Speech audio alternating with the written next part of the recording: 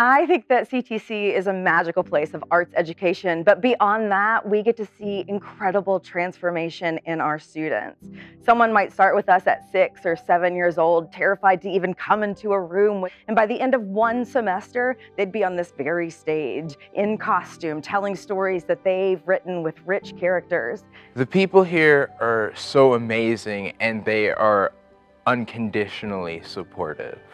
CTC is a unique institution in our wonderful city because it's, uh, it serves as a catch-all for all students from all different uh, schools and school districts. So it serves as a way for us all to kind of come together. It's a safe place for kids to be kids and express themselves and be free. I'm a little bit more on the weird side, and this place um, helps to embrace it.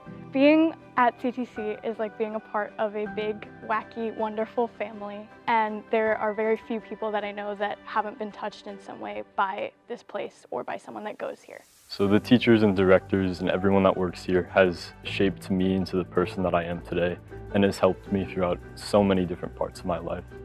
CTC has been great for our family. My son's been coming here since he was in fifth grade.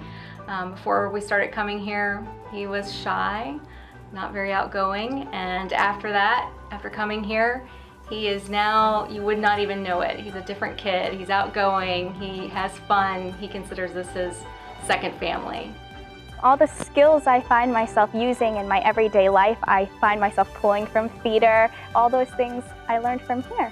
All the younger kids grow up with mentors. I grew up with a mentor in summer camps and I think I can be a mentor for the younger kids now.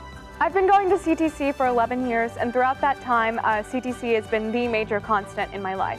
It has taught me everything about the type of person I want to become and the way I want my work to influence others. Not to mention, it has helped me secure a full ride scholarship. CTC has taught me so much about love and loyalty, but most of all, it's helped mold me into the person that I am today.